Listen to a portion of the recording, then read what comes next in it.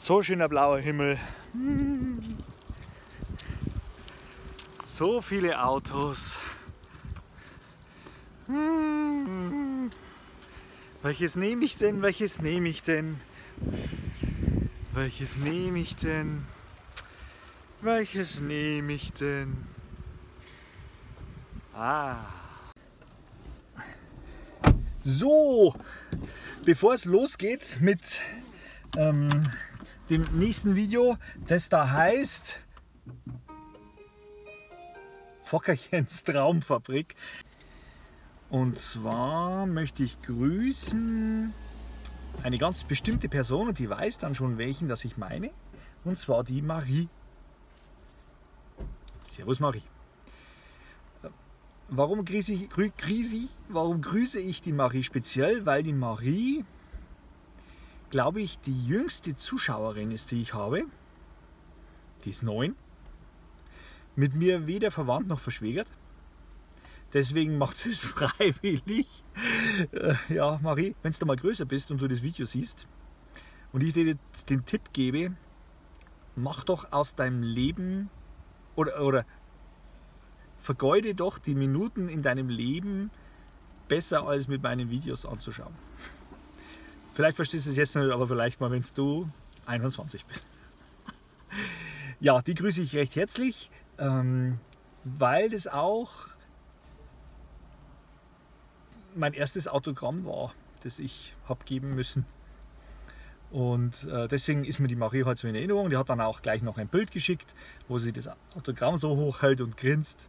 Und ich habe dann versprochen, ihrem, ihrem Dad habe ich das versprochen, wenn ich mal ein Video mache, dann werde ich sie speziell grüßen. Hiermit geschehen. Viel Spaß, Marie, und auch viel Spaß allen anderen bei Hinter den Kulissen äh, der Fogmockers Traumfabrik. Lustig wird es nicht, aber langweilig. Fuck, fuck, fuck, fuck, Mocker. Fuck, fuck, fuck, Mocker. Fuck,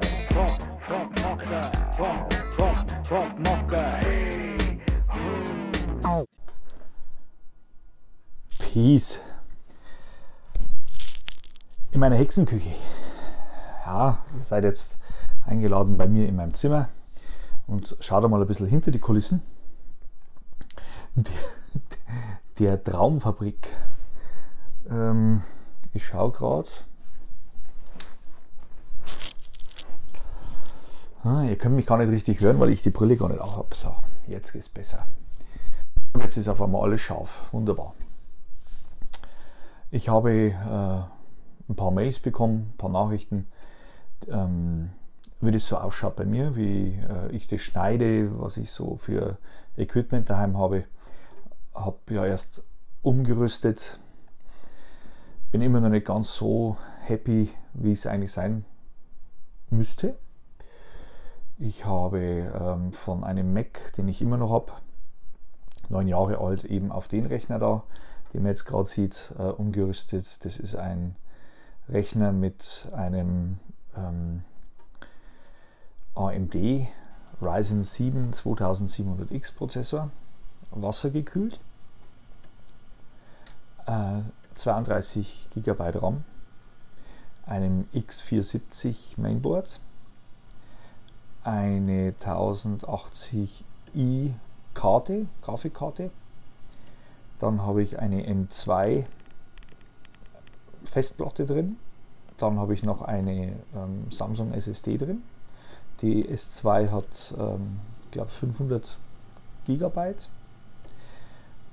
Ja, 500 GB. Dann die SSD hat äh, 1 Terabyte und dann habe ich noch eine ja, für die Daten, äh, große Datenmengen wie zum Beispiel Videos oder Musik habe ich noch eine normale mechanische Festplatte, eine SSD, äh, keine SSD, eine HDD und die hat 4 Terabyte. Das alles passiert im Endeffekt, das Schneiden passiert von dir vor diesem 55 Zoller von Samsung ist mittlerweile auch schon drei Jahre alt, war damals beim Black Friday eigentlich ein Schnäppchen, es ist heute nur ein Schnäppchen.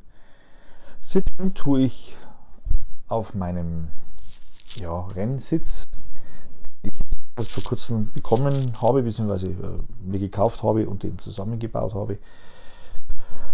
Ja, ähm, besser als der, den ich vorher hatte. Hat ein paar äh, Kleinigkeiten, die ich jetzt persönlich noch ein bisschen bemängel, aber da werde ich schon drüber wegkommen.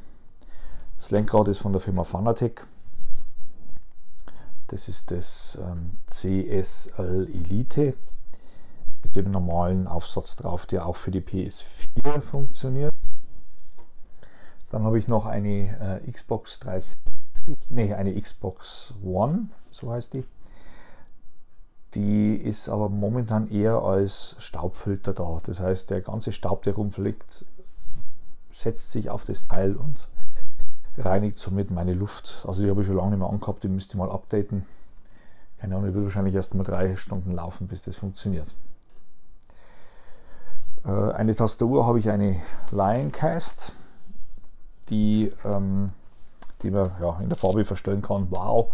Aber die ist auch hintergrundbeleuchtet, weil bei mir ist im Zimmer eigentlich nicht so hell wie jetzt, weil ich den Scheinwerfer noch, den LED-Scheinwerfer an habe. Aber normalerweise ist es hier dunkler und es ist immer ganz gut für alte Menschen wie mich, dass man die Tastatur auch im Dunkeln einigermaßen erkennen kann. Ähm, dann habe ich noch einen Trackball von der Firma Logitech.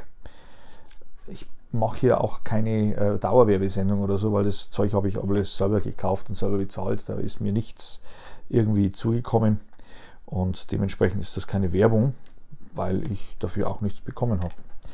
Ähm, Trackball deswegen, weil ich mein Leben lang, seitdem ich Rechner habe, und das ist seit 1992, eigentlich mit Trackballs unterwegs bin. Ich kann auch mit Trackballs ganz normal zocken. Äh, auch Ego-Shooter äh, spiele ich mit Trackballs. Ähm, gut ist die eine Sache, aber das äh, liegt nicht an dem Trackball, sondern eher an, an meiner Nubigkeit.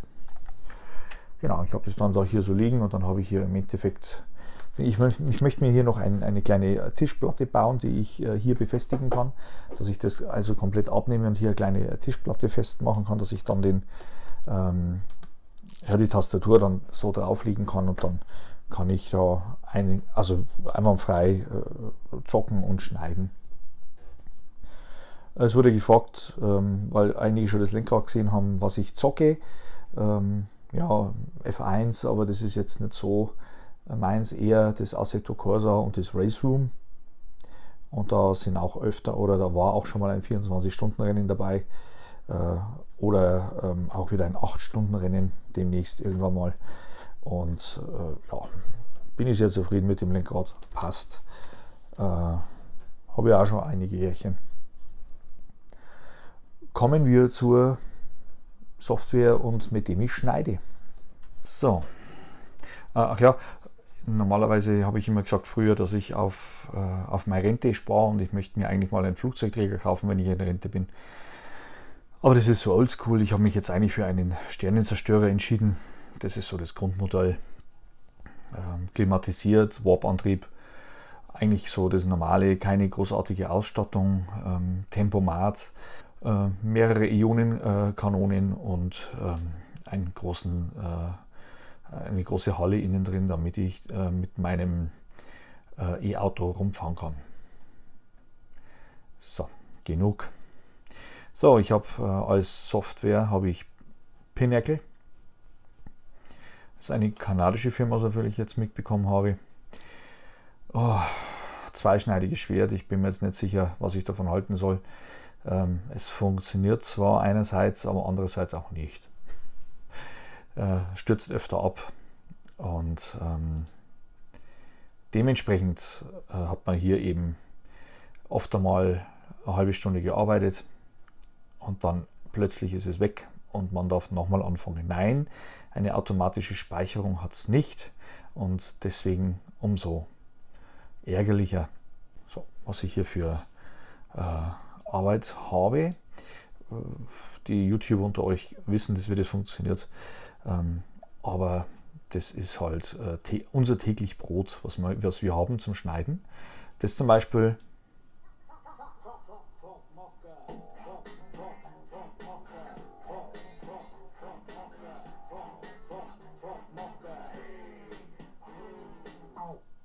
das kennt man, das ist mein Intro und äh, dementsprechend lasse ich das natürlich so, wie das äh, ist drin.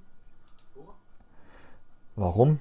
Weil ich es immer wieder mit reinschneide, ob ihr wollt oder nicht. Jetzt importiere, importiere ich mein neues Video. Das Video, das ich jetzt filme, kommt raus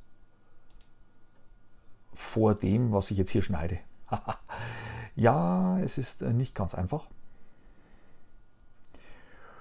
So, die zwei äh, möchte ich haben. Einmal äh, vor dem Intro und einmal nach dem Intro das Hauptvideo. Import starten.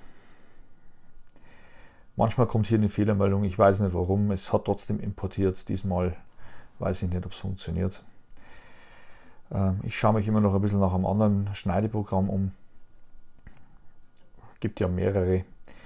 Ähm, das iMovie, was ich vorher gehabt habe, äh, auf dem, äh, auf dem MacBook, das ist so das Brot- und Butter-Schneideprogramm von Apple. Aber dieses ähm, ist eigentlich, finde ich, sehr, sehr gut. So, jetzt kommt erstmal das Vorgeplänkel. Das ist ein wenig größer, sehe ich schon. Aber das muss ich dann sowieso erstmal schneiden.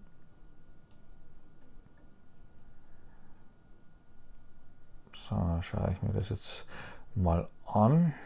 Das ist jetzt das Rohmaterial von dem Video. E-Mobilität ist der dümmste Schwachsinn, den ich kenne. Ja, das will ja nicht alles äh, ähm, vorspielen. So, das wird jetzt grob mal geschnitten erst einmal. Äh, und zwar werde ich jetzt dieses Vorgeblänker, was ich habe. Das heißt, wenn ich äh, zur Kamera hinlang und die Kamera einschalte, das möchte ich nicht dabei haben, das schneide ich immer raus. Und zwar werde ich anfangen Genau hier fängt es an.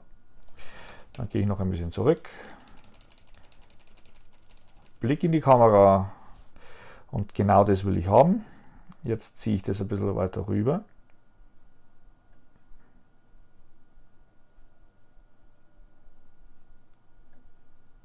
Und zwar genau hierhin. Schiebe ich das wieder am Anfang. Hier oben sieht man eine ja, grüne Leiste. Der rendert immer im Hintergrund schon mal vor, damit äh, der dann beim Rendern nicht mehr so lang braucht. Macht bei dem sowieso nichts aus, weil er ein 20 Minuten Video wie dieses zum Beispiel, da rendert der mir jetzt auf 15 Minuten. Das Hochladen ist ein Problem, weil das sind halt so um die 3 Gigabyte.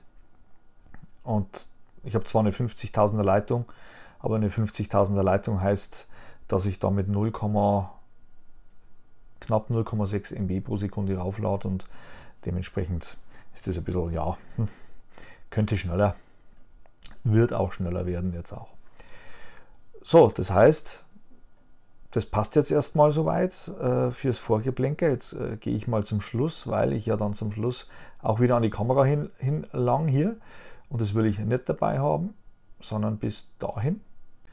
Und jetzt habe ich schon mal ich mache das immer ohne Übergang. Ich bin kein äh, Freund von Übergängen, weil man zieht sich dann irgendwann einmal ab. Übergänge sind auch eine Modeerscheinung. Früher hat es diese Blätterübergänge gegeben oder dieses von oben nach unten rieseln oder diese Raster, die sich dann plötzlich ins Nichts auflösen oder ins neue Bild rein äh, äh. Das ist immer so hm, äh, Modeerscheinung. man sieht dann, man kann ganz genau erkennen, ältere Video äh, mit neueren Videos, wenn die alten Überblenden dabei sind, ist das immer so, ja, ich weiß nicht, ich bin ein Freund, äh, ich mache nicht viel Überblenden und äh, wenn dann bloß schlechte. ja, genau. Schau ich bloß mal, ob es soweit passt. Und wie es dazu kam, das hört ihr jetzt. So, Peace. genau, jetzt kommt das äh, nächste Video, das Hauptvideo. Das ist ja Fockerchens Heimfahrt Teil 26, glaube ich. Peace. Peace, genau. Bis dahin möchte ich es haben. Jetzt wird dann wieder geschnitten. Machen wir so.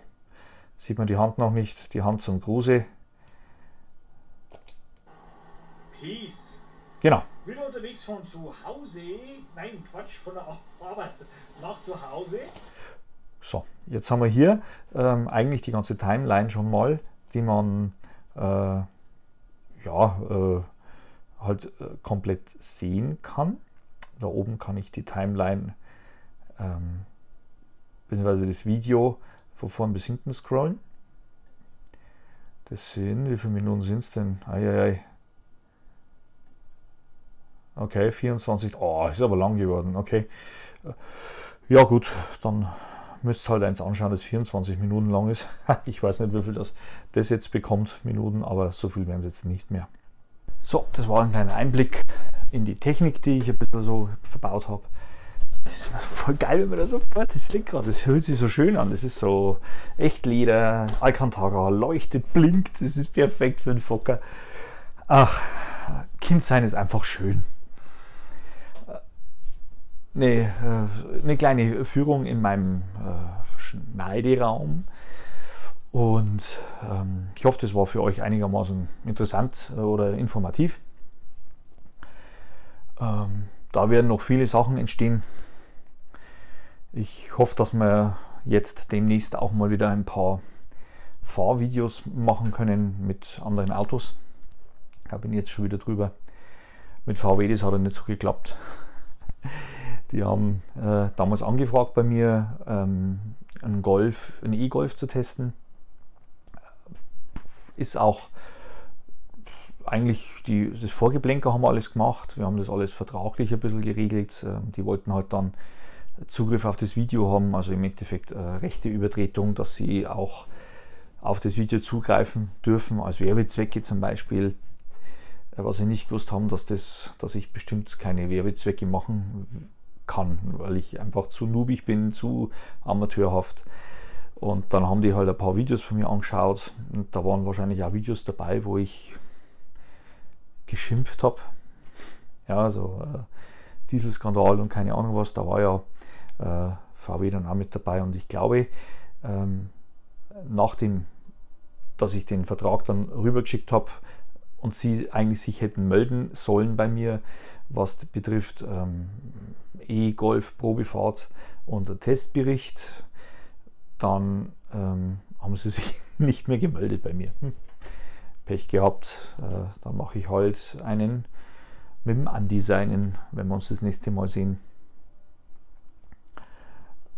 Kia Niro ist interessant, da wäre jetzt ein bisschen meine Fühler ausstrecken, dass ich den einmal ein bisschen eher sehe und natürlich auch den Hyundai Kona, der ja schon im Netz ist, auch Testberichte.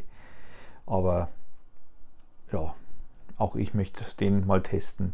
Das mit dem Model 3 ist immer noch zwar im Blick, allerdings ähm, ja, ich habe ihn noch nicht vorbestellt, wäre ich auch nicht. Ich werde ihn, also wenn ich ihn kaufe, dann halt kaufen, wenn er ganz normal verfügbar ist. Wenn man dann Lieferzeiten von vielleicht einem Vierteljahr oder vielleicht einem halben Jahr hat. Und dann muss ich mal schauen, wie das ist. Vielleicht haben wir vorher schon einen anderen. Muss ich mal gucken.